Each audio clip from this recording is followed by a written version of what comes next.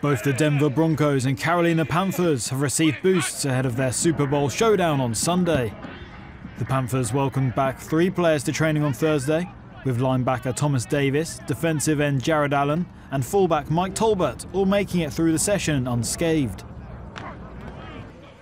Meanwhile, the Broncos received the news that Antonio Smith will play in California on Sunday, despite the sad passing of his father.